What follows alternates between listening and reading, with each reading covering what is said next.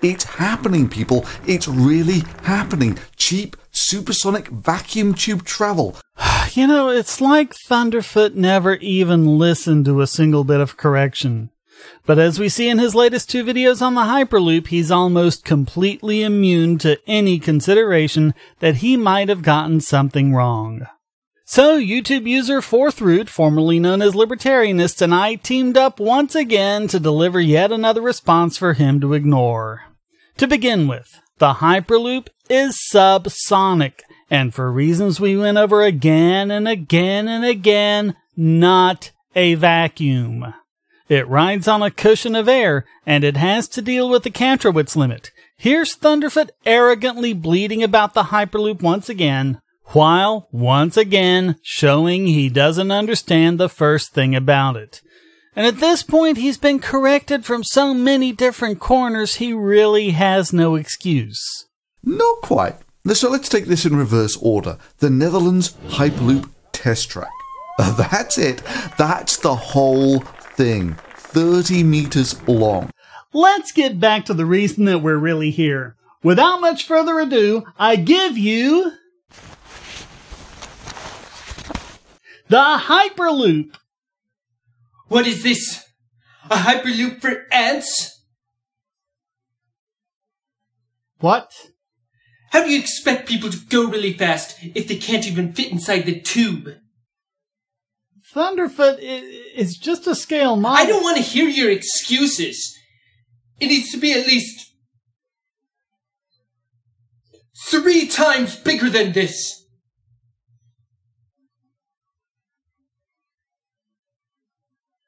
He's absolutely right.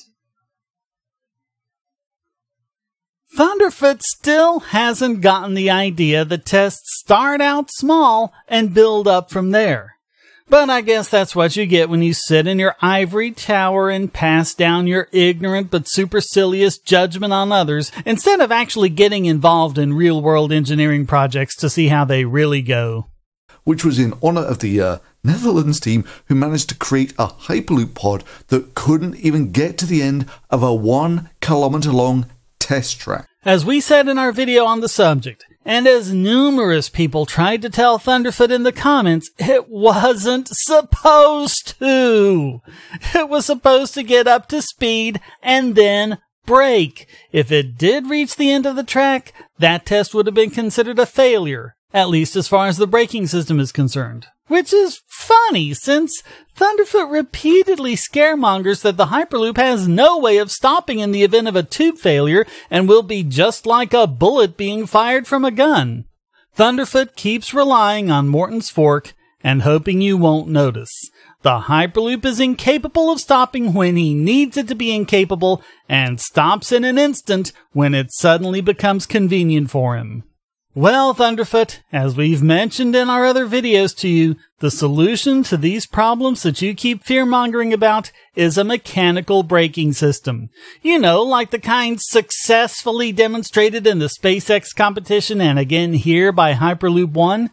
It's astounding that a man with a PhD can be so obtuse as to think a successful test is a sign of impracticality.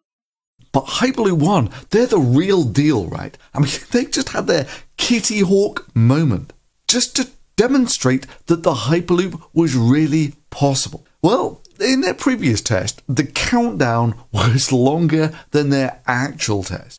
And we covered how Thunderfoot was completely stupid for laughing at this as if it was somehow a point against it. Now, I'm still dubious whether this thing was actually conducted under vacuum, because sound really doesn't travel in a vacuum, so how can you hear stuff? Okay, first of all, not a vacuum, deal with it.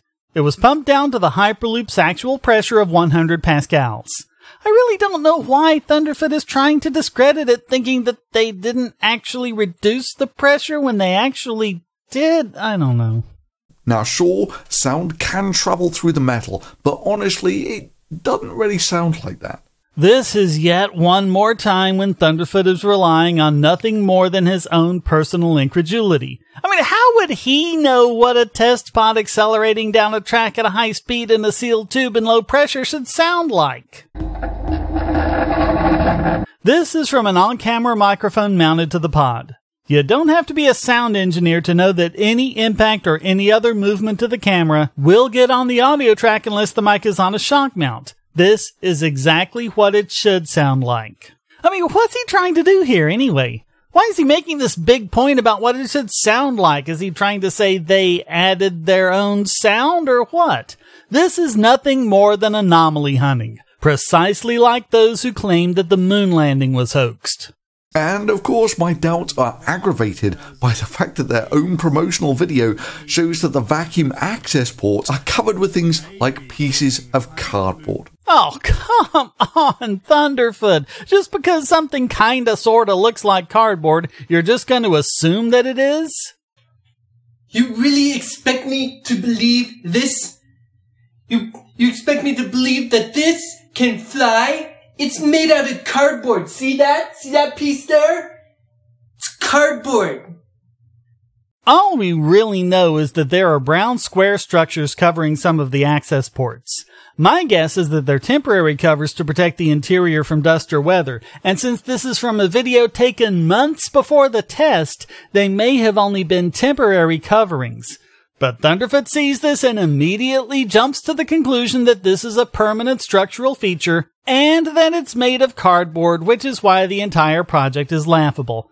Honestly, Thunderfoot, this is one of the most idiotic things you've said so far, and that is saying something.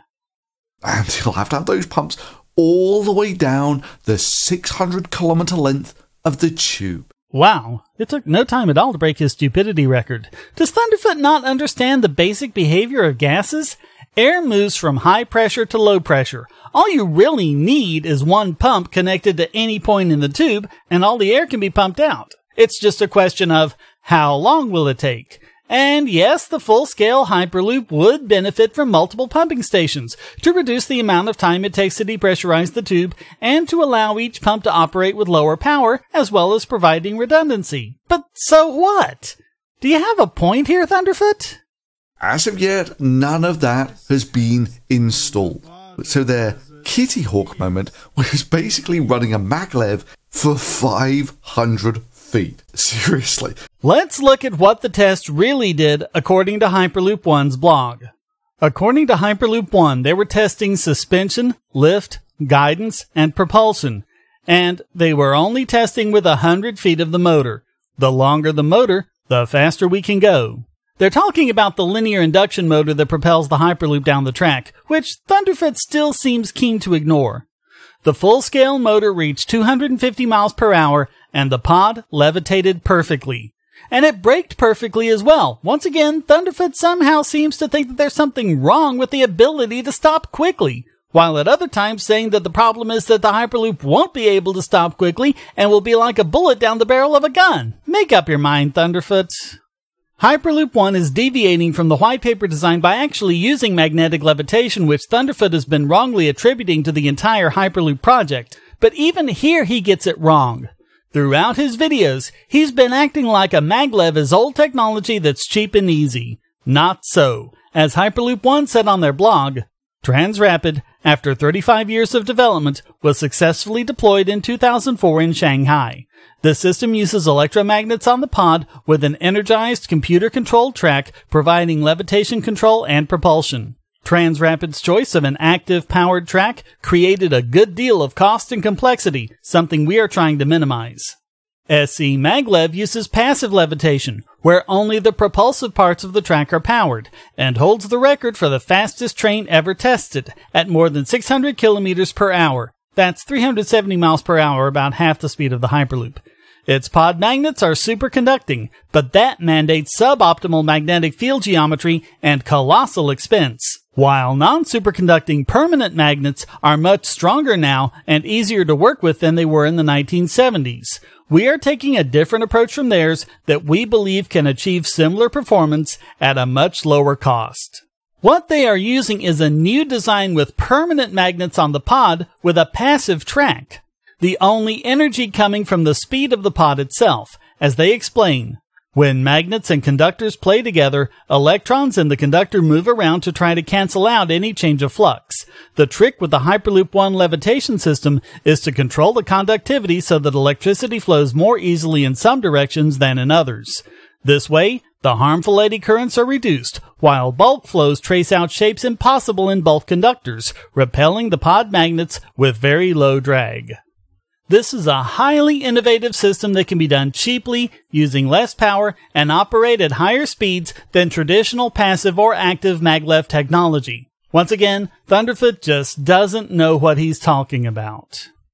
Forgive me if I'm not terribly impressed by that. Sorry, Thunderfoot, we can't forgive you because we and numerous other people have tried to explain to you how engineering tests operate. You seem to want it to be like an exciting movie where it takes a long time with intense drama and maybe even some music.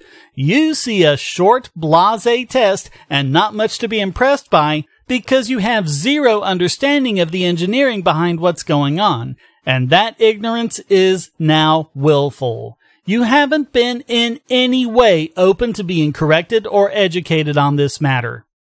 Okay, there's still a lot to cover, both in the remainder of this video and in an additional video he uploaded shortly after this one, so we'll get to all of that next time. Until then, stay strong and be free.